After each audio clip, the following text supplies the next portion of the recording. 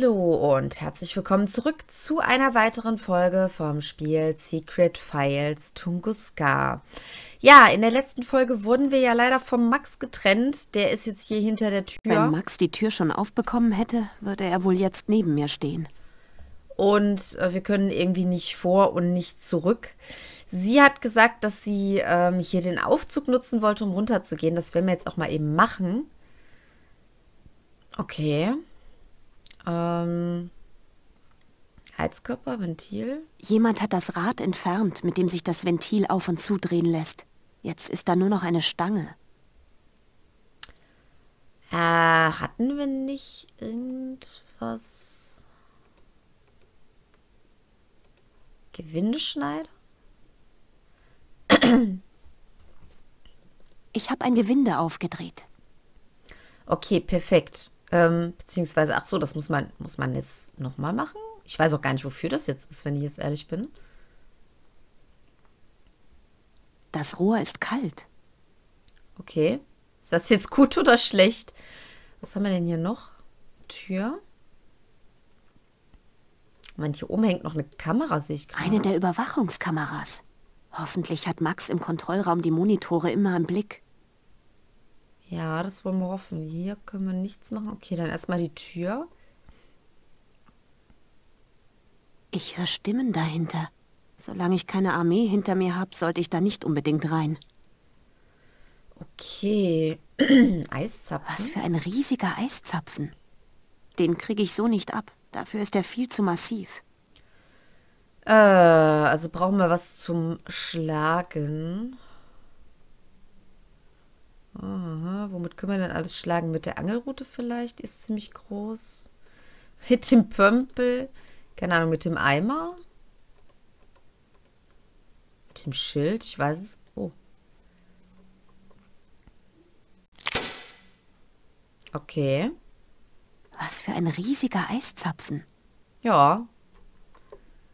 Das heißt ja immer, Frauen stehen auf groß, aber ich kann nur sagen, es ist nicht so. Aber eiskalt muss es auch nicht sein. Ähm, da ist noch eine Tür. Haben wir denn hier jetzt alles durchgeguckt? Hier ist noch ein Heizkörper, den wir noch benutzen können. Ach so.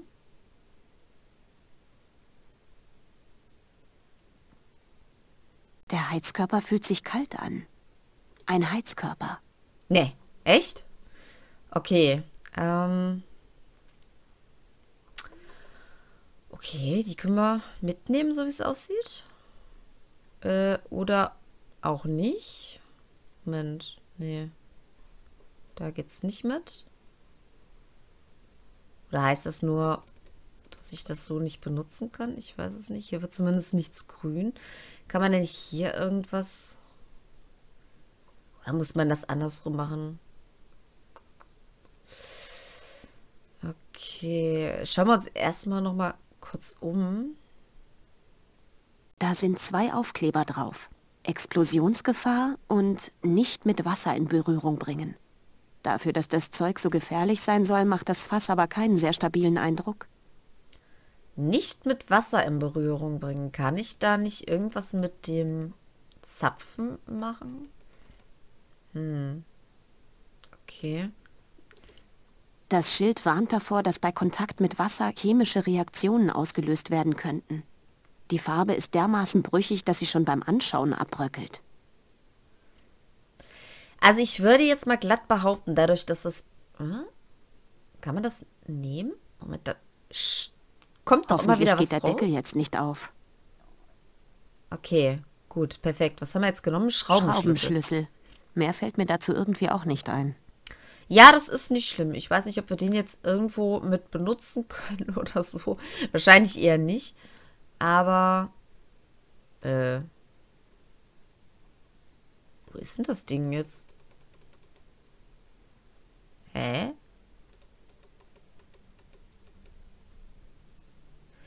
Ach, verlängerter Schraubenschlüssel. Okay. Kann man den jetzt irgendwo mit benutzen? Ich glaube nicht, oder? Obwohl, ich habe eben schon gesagt, ich glaube nicht. Und plötzlich konnte man die kombinieren. So, ähm, was habe ich jetzt gerade gemacht? Moment, ich habe den jetzt gemacht. Achso, ich wollte jetzt erstmal gucken, Mhm. An einigen brüchigen Stellen sieht man das Eis hinter dem Mauerwerk. Wir müssten uns also unterhalb des Meeresspiegels befinden.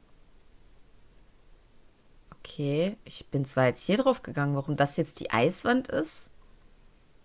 Hat aber einen großen Radius hier. Moment, das Rohr? Das Rohr führt durch die Wand in den Gang. Ja, das ist das Rohr der Heizung. Äh, kann man vielleicht. Aber das hat doch nicht funktioniert hier. Oh. Doch jetzt funktioniert's. Hä? Krieg ich das denn irgendwie hier verbunden?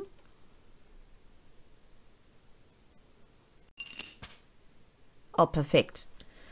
Die Frage ist jetzt nur, ich muss wahrscheinlich einen Eimer darunter stellen oder so, ne? Oder auch nicht. Wie fange ich denn das Wasser auf? Also wenn das flüssig wird? Puh.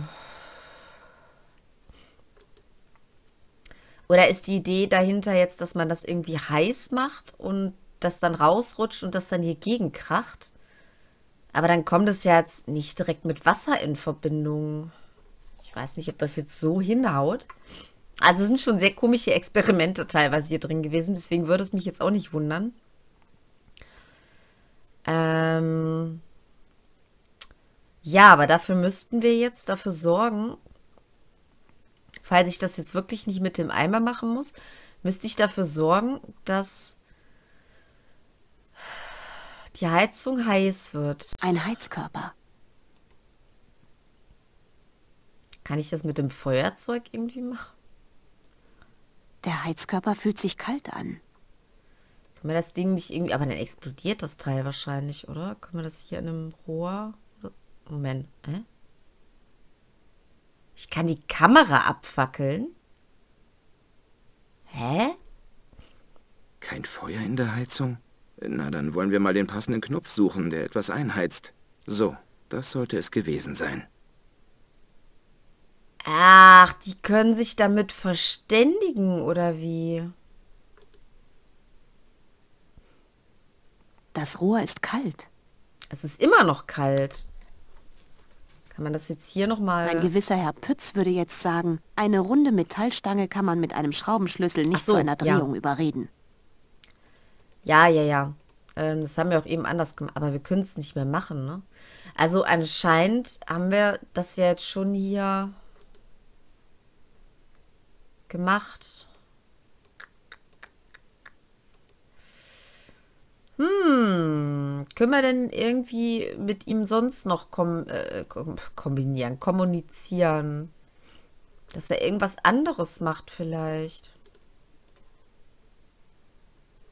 Ich meine, das haben wir jetzt schon hier.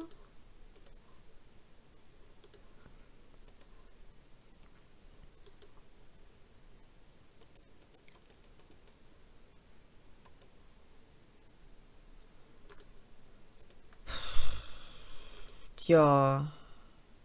Kann man Silikon vielleicht irgendwo anders benutzen oder so? Ich habe doch keine Ahnung. Kann man das Schild eigentlich benutzen? Nee, ne? Okay, ansonsten können wir anscheinend nicht mit ihm sprechen. Ja, das ist jetzt natürlich... Mit den Händen kann ich das weder auf noch zudrehen. Ein Heizkörper. Nichts, ne?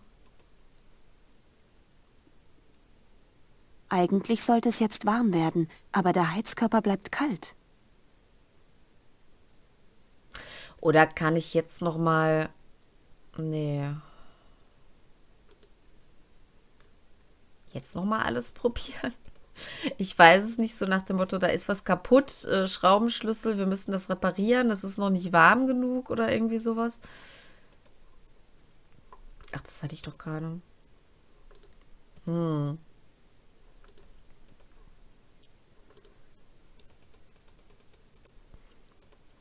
Entschuldigt, dass ich jetzt gerade so still bin, aber das ist jetzt aus doppelten Sinne. Erstmal, weil ich jetzt echt am Überlegen bin. Und ähm, dann, weil ich irgendwie das Gefühl habe, dass ich jeden Moment wieder einen Hustenanfall kriegen könnte. Puh. Da hinten können wir auch nichts machen, ne? Äh, Moment, was ist das?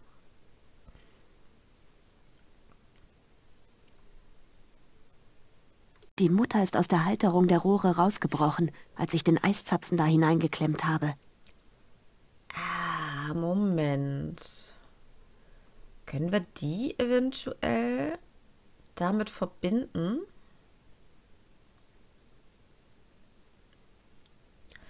Weil die, das ist ja auch eine, was war es jetzt, Sechskant und Achtkant? Ich habe jetzt nicht so drauf geachtet. Theoretisch müssten wir die dann doch. Puh, ja. Das wäre geschafft. Das Ventil ist aufgedreht. Okay, perfekt. Die Frage ist, ist die jetzt warm? Eigentlich sollte es jetzt warm werden, aber der Heizkörper gluckert nur vor sich hin. Ich vermute mal, es befindet sich zu wenig Wasser im Heizkreislauf. Kann ich dann noch Mit den Händen machen? kann ich das weder auf noch zudrehen. Okay. Ich kann es aber auch nicht nochmal machen. Okay, das ist schlecht. Was ist hiermit? Ist das auch kalt? Das Rohr ist kalt. Können wir jetzt vielleicht irgendwas ähm, kommunizieren? Nach dem Motto Ei, Feuer, keine Ahnung. Eimer. Moment, den Flachmann habe ich noch nicht. Vielleicht nach dem Motto, wir möchten, ich möchte mit dir danach einen trinken gehen oder sowas. Ach, komm jetzt wieder zurück in meine in meinen Monitor rein. Hm. Oh, das ist doch doof. Da können wir auch nichts machen.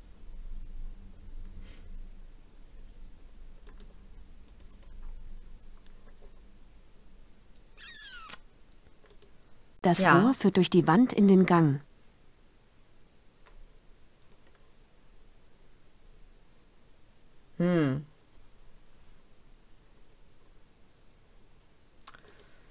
Also entweder stehe ich jetzt hier völlig auf den Schlauch. Ich meine, wir könnten es auch einfach erhitzen mit ähm, Feuer, würde ich jetzt mal persönlich sagen. Aber das wäre ja wieder zu einfach, deswegen müssen wir ja irgendwie so eine selten dämische Konstruktion bauen.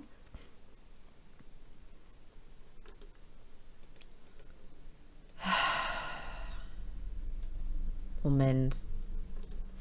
Was ist denn? Ich komme doch dahin, wo man das Ei reintun kann, oder? Mittlerweile ist mir warm genug. Die bösen Buben können gerne weiterfrieren. Ah, ist das jetzt euer Ernst? Ich glaube, das ist eine Wasserpumpe. Sie läuft aber nicht. Ist bestimmt verantwortlich für fließendes Wasser und die Heizung. Deswegen ist Ja, ja, ja. Gibt keinen Mucks von. Ja, okay. Mit den Händen kann ich das wieder auf. Ja, aber mit was anderem willst du es ja nicht benutzen. Das ist ja das Problem. Das Ventil ist aufgedreht. Aufgedreht ist es, aber es ist Ein trotzdem Heizkörper. kalt. Eigentlich sollte es jetzt warm werden. Aber der Heizkörper gluckert nur. Zu wenig Wasser. Wie können wir ihm sagen, dass wir zu wenig Wasser haben? Anscheinend irgendwie gar eine nicht. der Überwachungskameras. Hoffentlich hat Max im Kontrollraum die Monitore immer im Blick. Telefon? Keine Ahnung.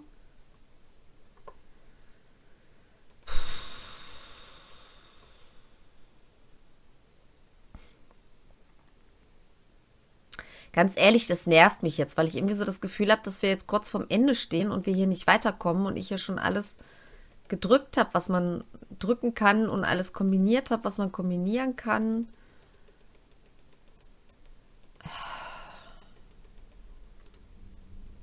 Kann man untereinander vielleicht irgendwas kombinieren? Moment. Aber da habe ich ja eigentlich schon alles versucht.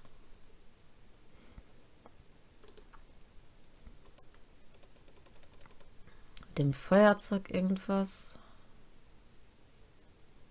Ähm, ja, da sagt Ich sie dann wieder, erst mal es ist zum. Angeln, ne? Ja, ja. Okay, äh? Ach so, ich hab's nicht mehr. Okay.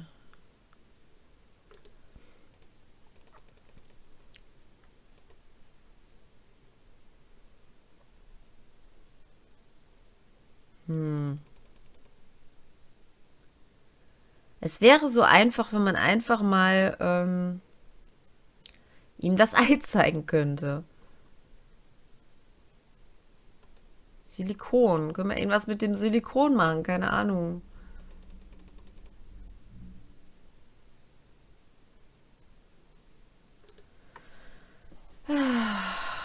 Ja. Ähm, ich verstehe auch Eine nicht, der Überwachungskameras. Benutzen kann ich die auch nicht, ne? Ich verstehe nicht, wieso wir hier so überhaupt nichts mehr machen können.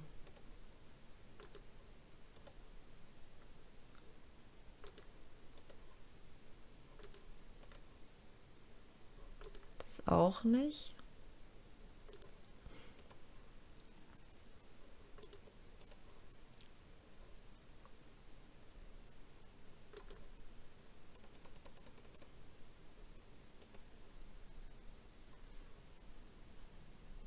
Meines Erachtens nach habe ich jetzt wirklich alles schon mit allem kombiniert.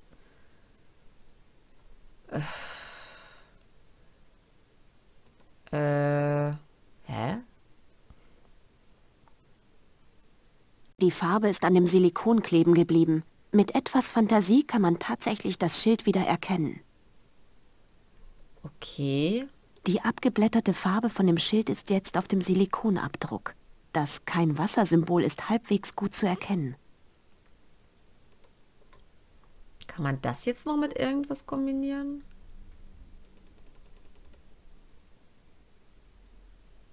Muss ich hier irgendwie ein Feuer legen oder irgendwas?